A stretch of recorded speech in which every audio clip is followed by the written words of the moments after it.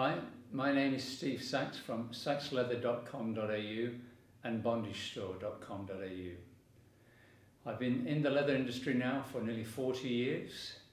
Uh, the last 25 years actively involved in making and supplying bondage and BDSM leather equipment. We're here in my factory and um, showroom to talk about the products. So without further ado, let's talk about the first product. Hi, today we're going to talk about the barbed wire collar. Um, it's a very attractive collar. It isn't actually barbed wire, it's made to look like barbed wire.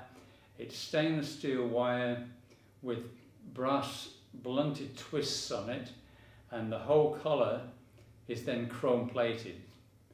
So although these do look like barbed wire, they're not particularly sharp. Um, no, they're not sharp at all. There's um, a clasp at the back here, if you can see, and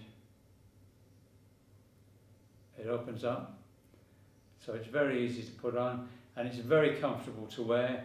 Comes in a number of sizes, and it's the um, it's meant to look and does look like barbed wire, but it's chrome plated. That's the barbed wire collar.